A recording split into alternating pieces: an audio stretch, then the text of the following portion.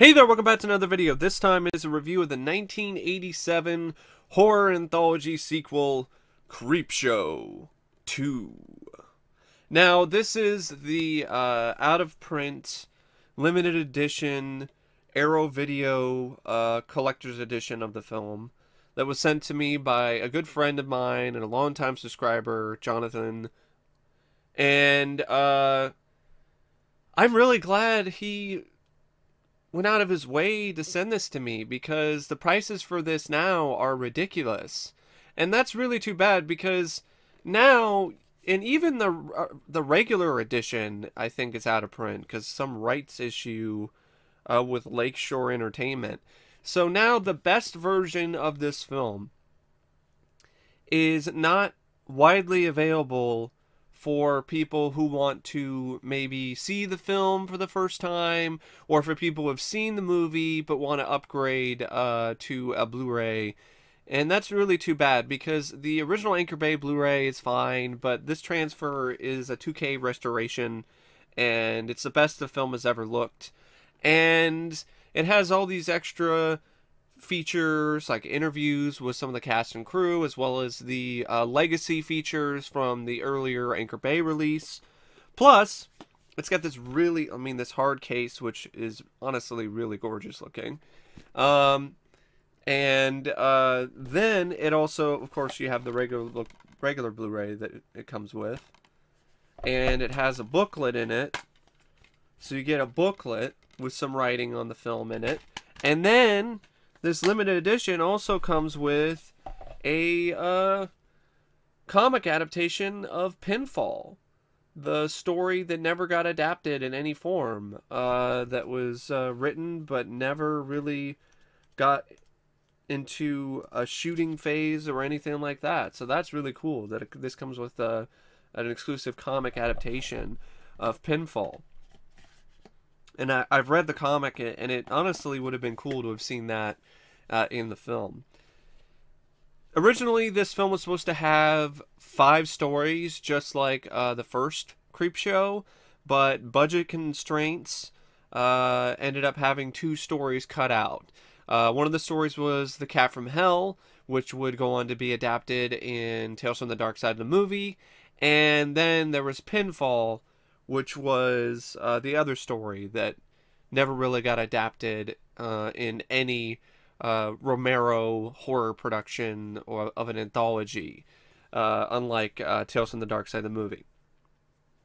Now, Creepshow 2, it came out in 1987, and it was released through New, New World Pictures. So this is one of the uh, uh, Laurel Entertainment also produced it, but I think New World was responsible for the theatrical release. This is at a time when New World was still financially somewhat stable, because of course they would release Hellraiser and they do a few other releases. Uh, New World is one of those companies that really came and went. They made a little bit of a bang with their horror franchises and their horror titles and in just a span of a couple years just went completely bankrupt. Uh, I think New World Pictures themselves would make a really interesting topic for a documentary. I think it would be really interesting to hear from people who worked at New World and all of that, just to see what happened, how they started out, how how how they are a company that released stuff like Creepshow 2 that made 14 million dollars in 1987 and and released the first Hellraiser film and a few other uh, hits, as well as had some decent success with the uh, home video market, only to completely vanish from the earth in a span of two to three years. Um, but anyway, it was released in 1987. It was released uh, on May 1st. It had a budget of $3.5 million and it made 14, which adjusted to inflation to today's uh, numbers is a decent amount of money decent profit. Did not make nearly as much as the first film. I think it probably would have done better if Romero was involved. I don't think Romero was uh, able to be involved though because he was working on other projects, so he was not able to direct or be a part of this sequel. So the director of photography for Creepshow, Michael Gornick, took the directing uh, reins for this sequel. And this is his uh, feature film debut as a director. Before this, he had directed uh, a couple shorts. He did he directed some episodes of Tales from the Dark Side and some really solid episodes of the show. But you can tell that Gornick is nowhere near the veteran, nowhere near the same experienced director as Romero. The direction in this is adequate. It's serviceable, but it's nothing particularly spectacular. Uh, there really aren't a lot of scenes in this where the direction really elevates things to another level. Uh, I feel Gornick, honestly, is a better director of photography than he is a director. Um, case in point, just look at Creepshow. Look at his his work in Creepshow versus his work in Creepshow 2. Creepshow 2 feels and looks like a TV movie more more times than not. And I think it's in large parts because that's what Gornick's experience is. I mean, it could be worse. um, but it, it isn't particularly that great either. Now, it features a script by George. Romero as well as uh, some uncredited work by Lucille Fletcher it has some stories that are once again based on short stories by Stephen King. I think The Raft is one of them. Old Chief Woodenhead. I, I don't know if that's one or not. I think all three of these actually are. Um, and yeah, it only has three stories instead of five. It features a score by Les Reed and um, Rick Wakeman. And this is a score that's a mixed bag for me. I don't mind the opening titles. It's nowhere near the same level as uh, John Harrison's work, but it's still pretty solid stuff. I really love the uh, score in the Hitchhiker uh, segment. I think that has some really great guitar work and and uh, really nice melodies, and, and it's it's a really it's a standout and easily the best score from the film. the The music that's in the raft is pretty good too the old Chief Woodenhead stuff is a little bit too schmaltzy for me. I think the score is a little bit too on the nose when it comes to, oh look, it's wholesome and uh, heartfelt, and it just came across as kind of corny. Um, there are other moments where the music cues really do come across as corny, um, and they don't really add a whole lot of atmosphere or mood to the sequences. But there, but for the most part, it's a score that's really grown on me. The more I hear this score the more I learn to like it. I don't love it like I love John Harrison's score for Creepshow, but I still think it's a pretty good score in its own right. Now, the film has a prologue which uh, has, I, I, guess it's Billy from uh, Creepshow or a different kid. Yeah, I guess it's not supposed to be the same boy, so it's a completely different boy named Billy, despite the despite the fact that in the animated sequence he wears almost the exact same kind of clothing, but you know, we'll see. I mean, so anyway, uh so it, it, it there's like this I guess there's a delivery truck that shows up in a small town in Maine, of course, you know, Stephen King. And this kid Billy's really excited and waiting for the next Creepshow comic uh, this creepy guy, uh, which is Don, which is Tom, Tom Savini in makeup. Actually, he plays the live action creep in this. It's a good makeup job too. He gives Billy the latest uh, issue of Creep Show, and then you have the opening titles, which uh, they, they are uh, full of comic book panels, just like the first film. It even includes the same font as uh, the first film did when it comes to how it listed off the actors and the cast and crew. That was a nice little touch. Uh, the score isn't nearly as as uh, spectacular as Harrison's, but it, it does the job well, and uh, it's a it's a promising start. I would say the ADR on uh, Tom Savini when he's speaking, you could tell that he's dubbed. So it honestly, I don't know. I mean, it, it didn't really come across as that authentic. So you have these inner title sequences, you know, like like the first film did, but they're animated, and I think you have this little bit where you have like there's the creep and he's animated and he's talking to the camera and he's talking about oh you know Uh, you want some horror you know and I, I don't it's voiced by Joe Silver and the voice work is okay but the writing for the creep is terrible. It sucks so much. Like there were more than a few moments where the creep is explaining his jokes. Like and, and they're really bad puns like uh, they're not funny puns like Crypt Keeper would come up with, or some of the puns that you saw in the pages that were on the screen in Creep Show. He's like, "You're gluttons for punishment." You're like, really? Punishment? so bad. And then there's another joke where he literally explains it. He's like, get it? you never do that. You never explain your puns.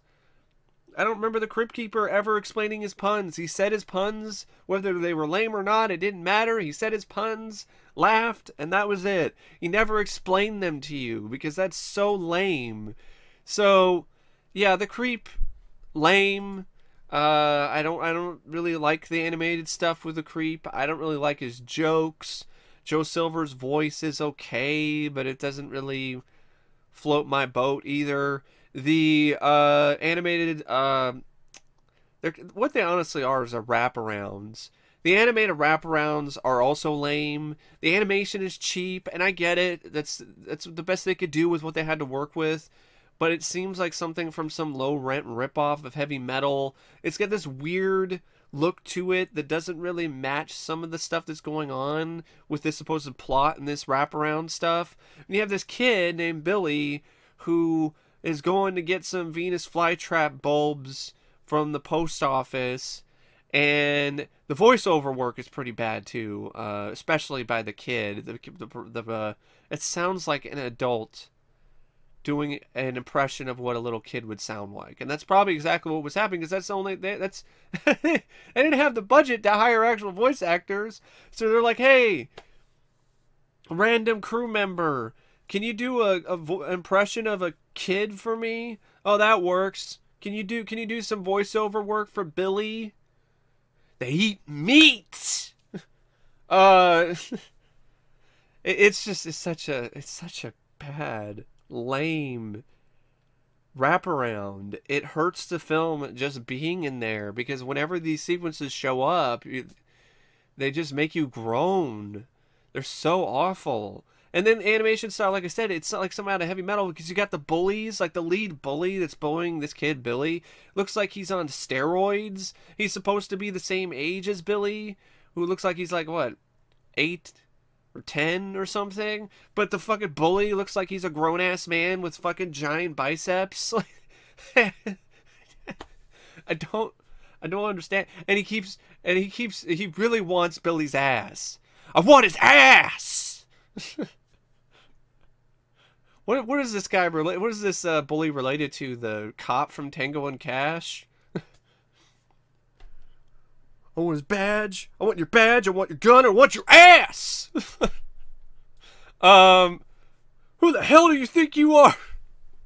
But anyway, um, yeah, I'm not a fan of the animated wraparound segments. I just wanted to get my uh, thoughts uh, out and in order on those before I talk about uh, the stories. So the first story is Old Chief Woodenhead, and this is one that's really a story that the more I watch the film, the more I learn to appreciate this segment. It's still my least favorite segment out of the film, but I no longer uh, dislike it.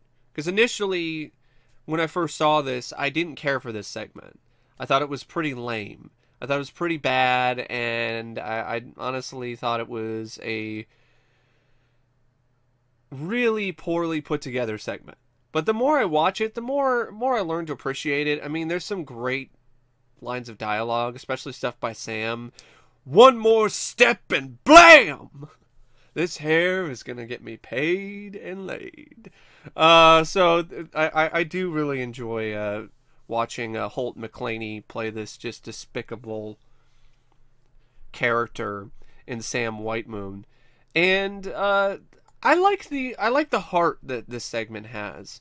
I think that's something that's really some that's the I think that's the main thing that's really made this segment still resonate with me the more I watch it is the heart that this segment has. It's a genuine heart. Uh, the characters, uh, Ray and Martha Spruce, are an elderly couple uh, played by George Kennedy and Dorothy Lamour. They're in a small fictional town named Dead River. Uh, they, they it used to be a thriving town, but now it lives up to its name. And they're they're they're having a hard time making ends meet, and they've helped the people of the town so much, but they haven't gotten much back. And uh, the performances by Lamour and uh, Kennedy, I personally felt felt were really good. I thought they were excellent. They really did a, a wonderful job bringing these characters to life. I bought that they were longtime friends and lovers. I bought that. I bought that they were husband and wife and they had they had great chemistry with one another, and I bought that they were kind souls, and that's what makes the moment when they get gunned down brutally by Sam really heart wrenching. I would say it's probably the most tragic kill uh, or series of kills that I've seen in this franchise. Because in the other films like people earned it or they deserved it you know they were being assholes or douchebags or raging bitches. They they didn't do anything wrong. So that's what makes it all the more horrifying is that this kind elderly couple who didn't were really weren't hurting anybody. We're living up to the the their uh, namesake and their their uh, let's just say um, their their reputation as this really kind and respectful couple that gave so much to their community.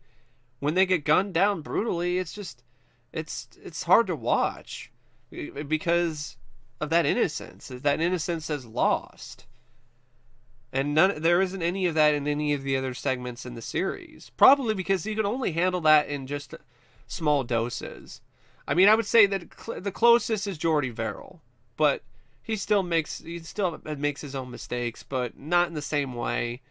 But this is just I mean, he makes his own bed with the meteor and lies in it. They didn't do anything except, you know, try to protect the tribe's uh, jewelry, their uh, sacred treasures, which is collateral for the debt that the tribe has incurred.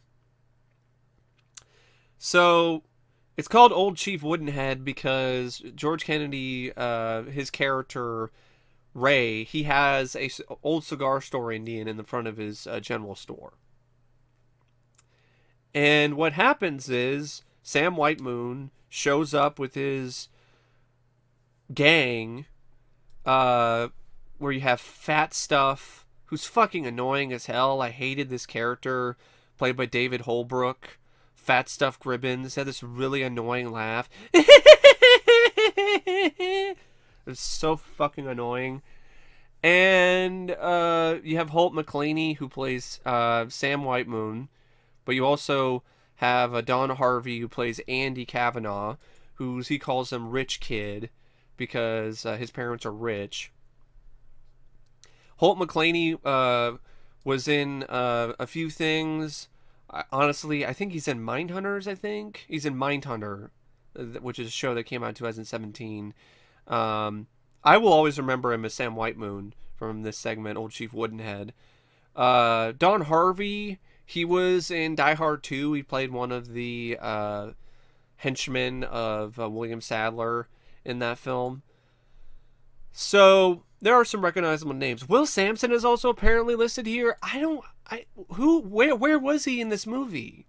Like is was it a blink and you miss it cameo? Was he one of it says he's one of the White Moons, but I don't remember ever seeing him in any any scene in the film. It must have been a blink and you miss it thing cuz I I mean I I don't remember seeing I don't remember seeing Will Sampson in this.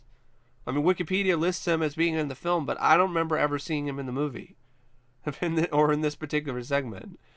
Um So Sam White Moon ransacks the general store, steals some stuff, and his whole reason why he went there is not only to steal all the money that's in the register so he can go to Hollywood so he can be an actor, be a movie star, because his hair is going to get me paid and laid.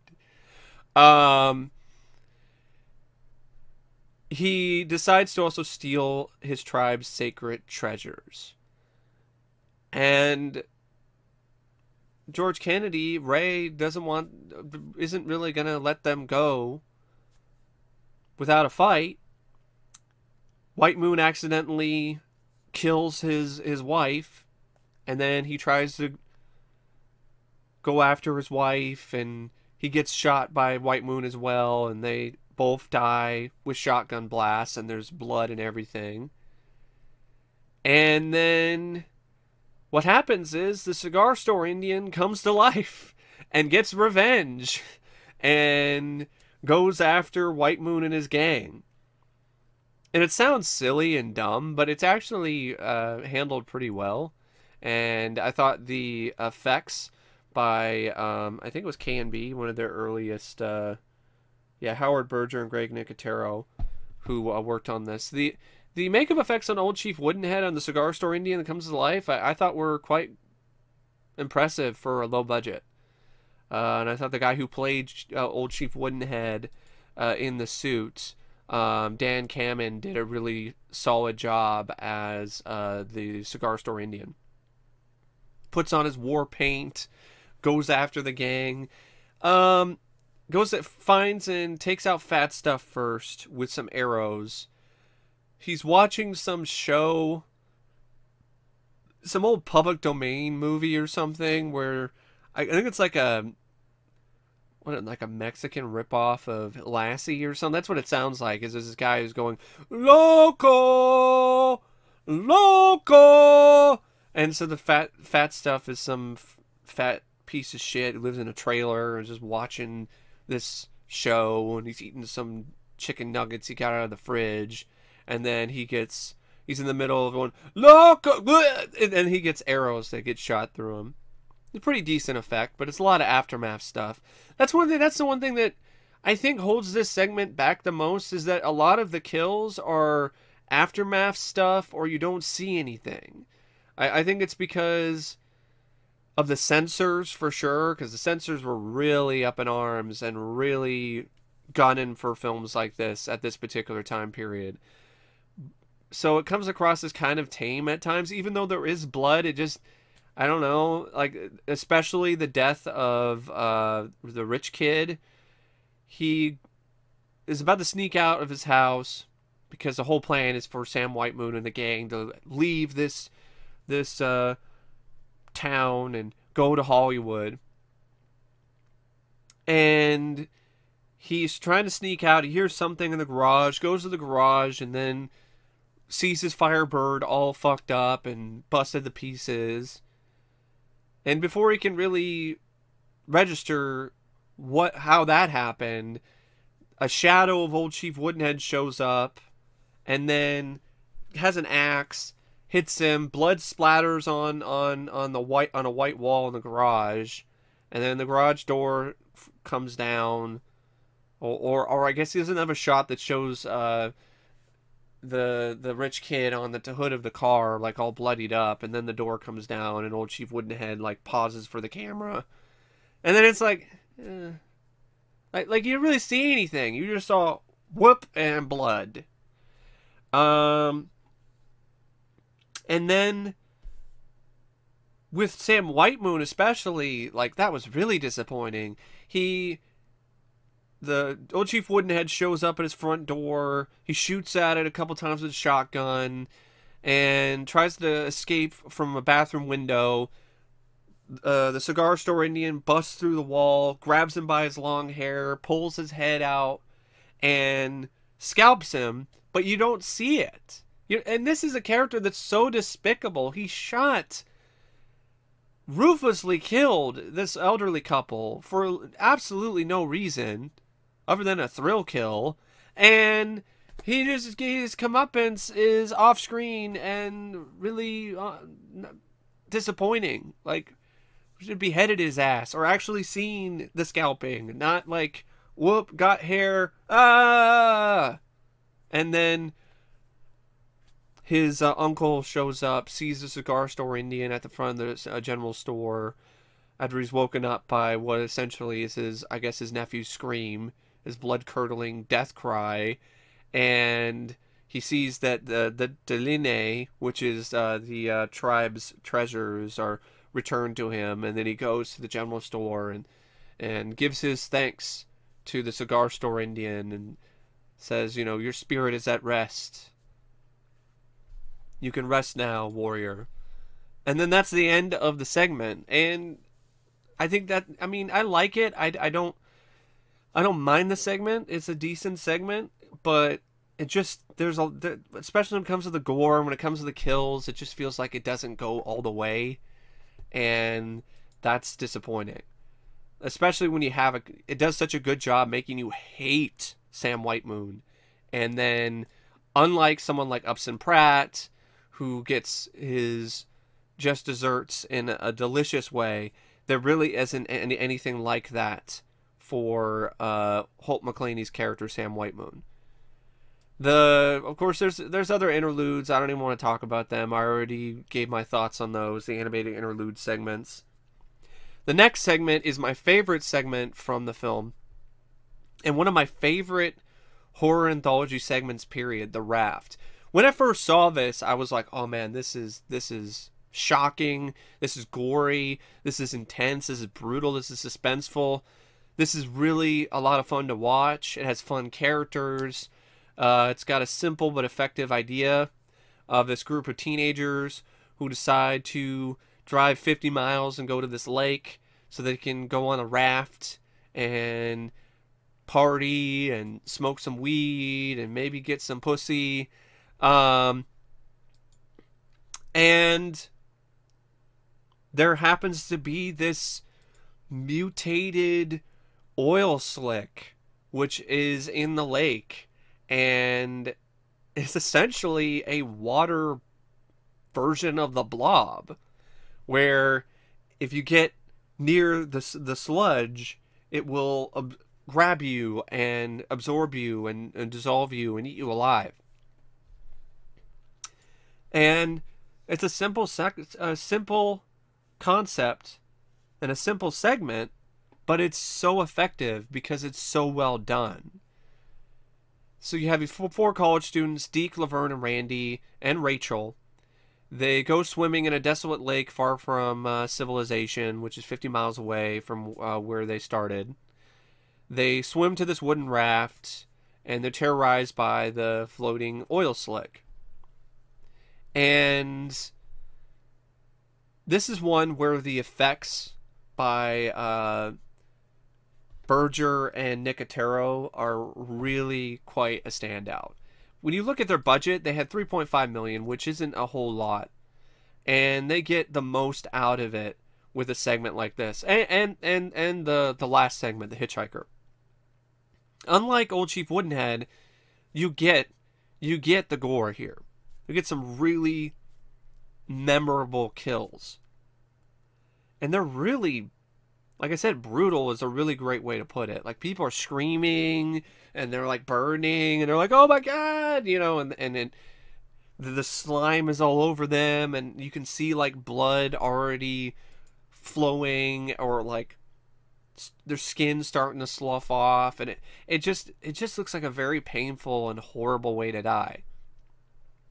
And the script I think does a good job making doing the opposite of what old Chief Woodenhead was intending to do with uh, the uh, with Sam Whitemoon and his gang.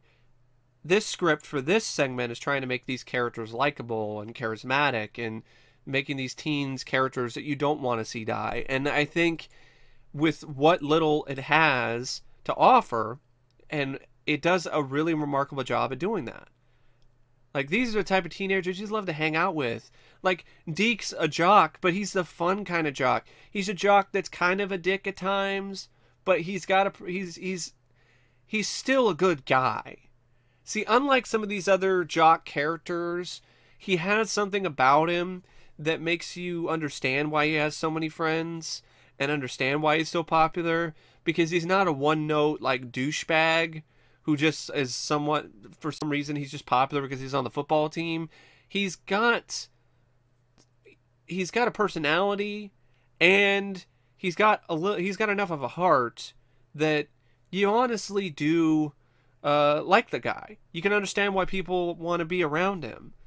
And the same goes for his friend Randy and uh, Deke's girlfriend, uh, Laverne, Randy's girl that he brought to uh, the uh, party, essentially, uh, Rachel. And Rachel is actually the first one to go, and she's like curious, and she helped uh, Randy with uh, ecological trips to uh, clean oil out of the ocean or and stuff like that. And her curiosity ends up killing her.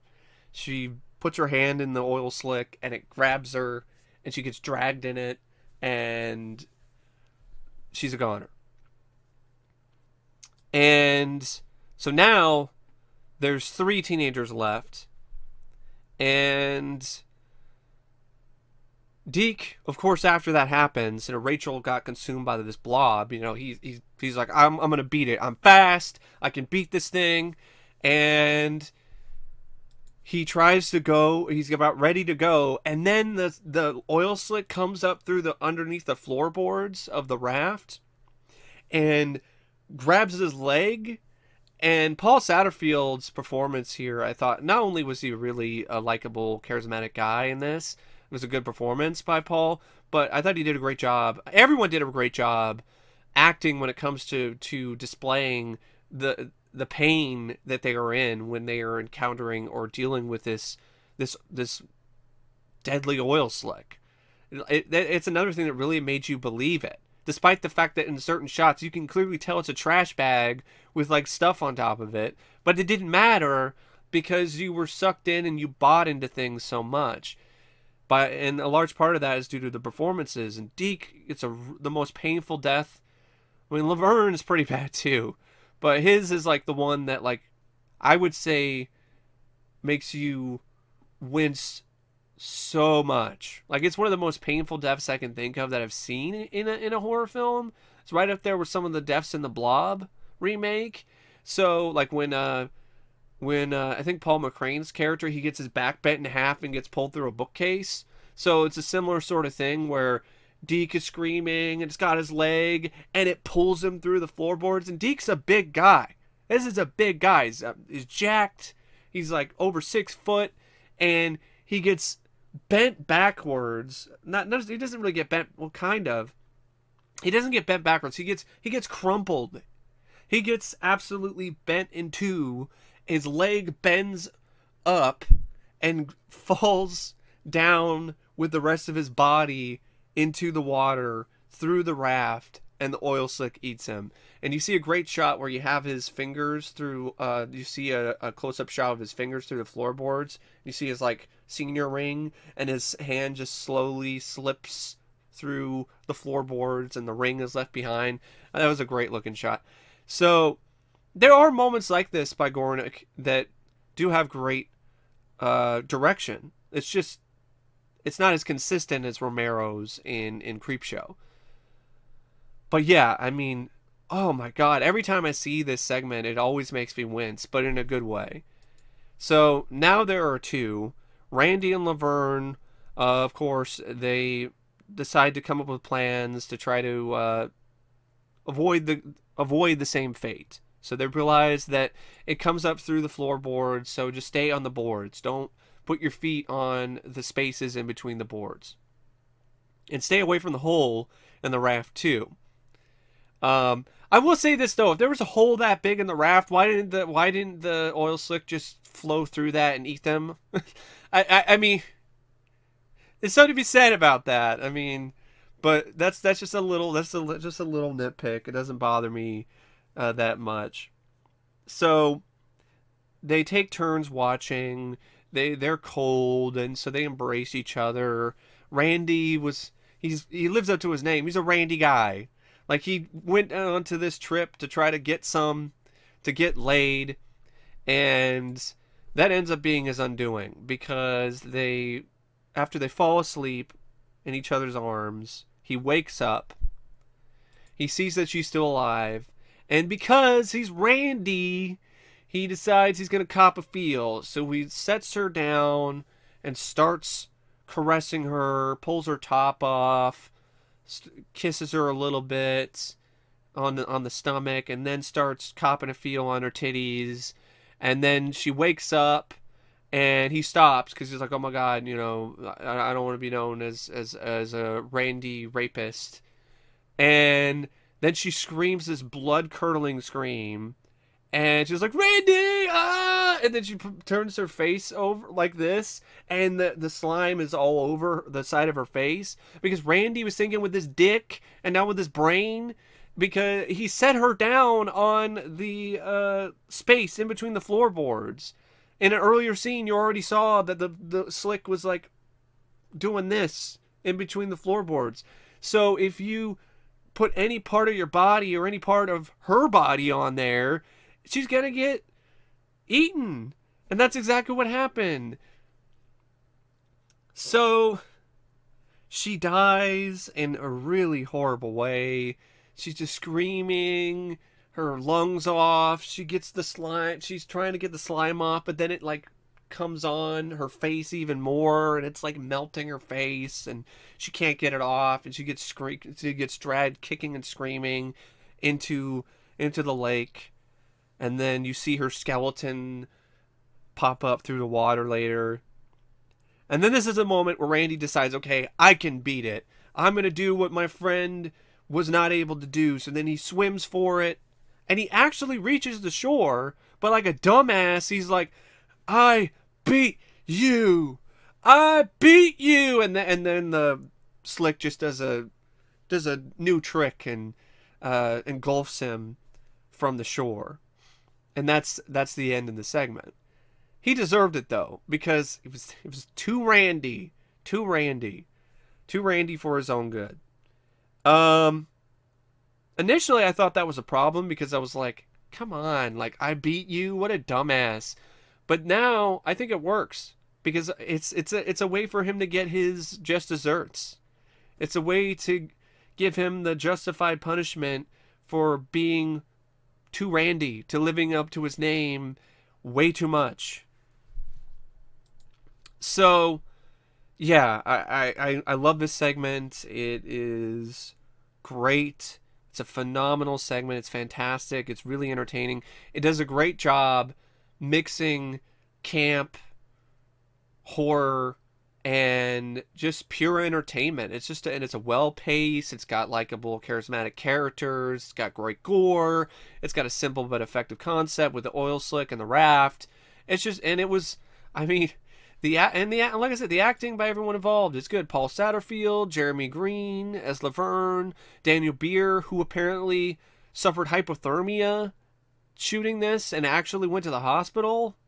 Uh, I think it was worth it in the long run for, for him because it was a good performance and a, and a good segment. Page Hannah is Rachel, who actually is apparently Daryl Hannah's sister. So yeah, everyone did a did, did a good job here. There's a nice uh, callback to uh, Creepshow. Uh, the, the uh, T-shirt that Laverne is wearing says Horlicks University, which is the same university uh, that is listed on the crate in uh, the crate in in the first film. Then we have the last segment, which is The Hitchhiker. The Hitchhiker, it stars Lois Chiles, who was Holly Goodhead in Moonraker, and she plays this stuck up, selfish bitch named Annie Lansing who's cheating on her husband with this uh, male gigolo played by uh, David Beecroft and his digital clock radio goes out. So now she's running out of time to get to back to her uh, mansion before her husband figures out that she's been doing anything other than being at home, waiting for him to come back from work or wherever the heck he comes from. and there's a there's a speaking of callbacks, there's a nice little callback uh, to Stephen King on uh, the top of the uh, I think it's like a headboard or something like that on his bed. You see a copy of Stephen King's It, the book, and then of course speaking of uh, callback, Stephen King himself actually has a cameo in this as a truck driver for King of the Road Trucking. Um. So this segment involves this selfish bitch who has like seven minutes to get back home before her jig is up. Because she's in such a hurry, she spins out on, I think, uh, on a shoulder uh, of uh, a highway. She's out of control, and she hits a guy. She hits a hitchhiker. And because she's a selfish bitch, instead of stopping and seeing if the guy's okay, she sees a truck coming and decides she's going to peel off and she's just going to run. And because this is a creep show segment, she is going to get punished for that. And rightfully so. And her form of punishment is the hitchhiker keeps showing up and keeps terrorizing her in various stages of decomposition and destruction, whether it was caused by her hitting him the first time or hitting him multiple times over throughout the uh, segment. And there's this uh, character. She says lines of dialogue, like she says "bastard" a bunch of times. She's like, "You bastard," which makes me think like, is she related to Upson Pratt? Is this like Upson Pratt's sister or something? Like, uh, I mean, they're very similar in terms of how selfish they are. Um, but yeah, uh, this segment works because it's got a great score. It's another simple but effective concept. Uh, Lois Chiles' uh, uh, performance is great. Uh, it's honestly one of my favorite performances by her. She does a really wonderful job playing this role to the hilt. Um, there's even some really witty, nice lines of dialogue. I love the the bits where she's talking about, "Oh, Mrs. Lansing, it'll cost you," you know, talking about how much money it's going to cost to fix the Mercedes or how much money it's going to cost for a concussion. It has a nice sense of humor to it that I really uh, liked. Uh, great location shots, great stunt work. Uh, huge kudos go to Tom Wright, who plays plays a hitchhiker for doing his own stunts. Uh, good makeup effects uh, by Berger Nicotero of the hitchhiker as he's getting bashed with the car or shot by Lansing through like through the hand or through the head. And this hitchhiker, you know, he just he just does not give up. You know, thanks for the ride, lady. Thanks for the ride. Um and she just goes fucking crazy trying to get rid of this hitchhiker. He hitches a ride on top of her car. She drives through the woods, smacks him around with the trees, knocks him off, runs him over a few times, shoots him with a gun in their glove compartment, goes in and rams him head first with the car repeatedly over and over again into a tree until she knocks herself out and then she thinks like, oh, it was all a dream. There was no hitchhiker. But then she drives. She she manages to get her beat up Mercedes back into the into the garage before and her husband actually isn't home because he was there dealing with a hit and run driver because he's a humanitarian. Uh, and speaking of that, the the sequence where the husband stops to uh, see what's going on with uh, well, not with the hit and run driver. I mean the hit and run victim. Sorry, my bad. Uh, I guess I was hit by a car. I actually was hit by a car. That's why I got this scar. But uh, that's a whole other story. Um, but anyway, so he was dealing with a hit and run victim, and then that's when Stephen King has a cameo, and I, I it's like his character of Jordy Verrill. Like he's this is like a relative of Jordy's who's who's a uh, driving truck, and he stops and he's all like, "What the fuck happened here? what the fuck happened?" Um, yeah, I, I, I like that. It's it's a fun short cameo, but it, it's it's a fun one. It's it's a good uh, light-hearted, uh, fun performance by Stephen King. And she manages to get to the mansion, get in the garage. Her husband's not home. She thinks the worst is over. And then the hitchhiker pops up again. He's like in the worst state of decomposition and damage. He's like a smashed up face. Barely like it's a bare it's barely even a face at this point. Just a smashed up series of like blood and wounds and with a tongue and it's like, thanks for the ride, lady. And it's like licking her and shit. It's gross. And it strangles her. And then her husband finally comes home and then sees her dead in the, in the uh, in the passenger and not in the in the driver's seat with the with the sign that the hitchhiker was holding that said uh, Dover on it. And that's the end of that segment.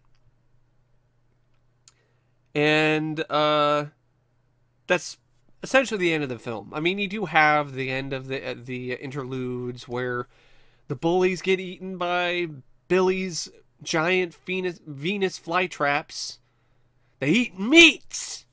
Uh, yeah, eat a dick. Shut up.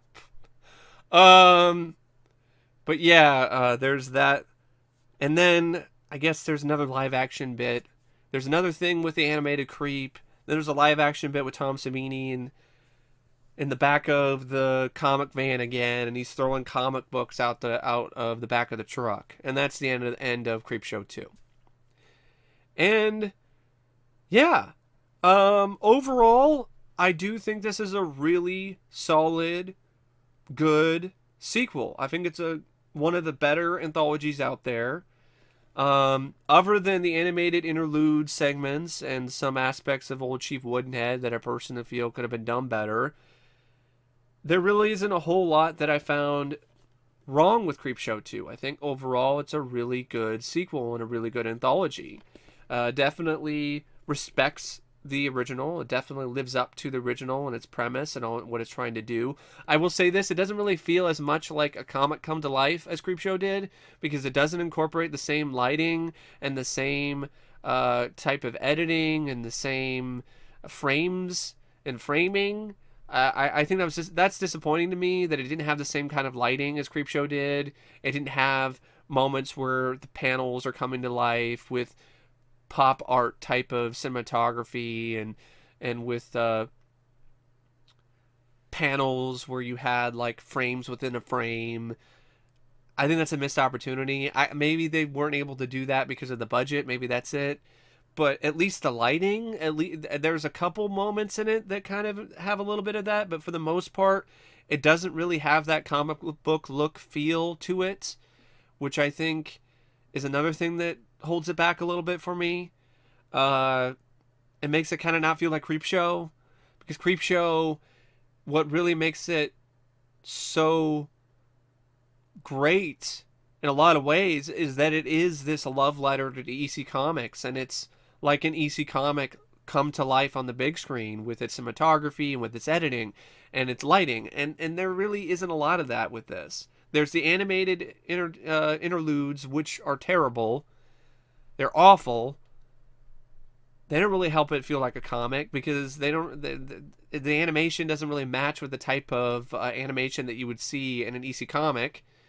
The little comic bits that you see look fine, but they they don't ever come to life in any way.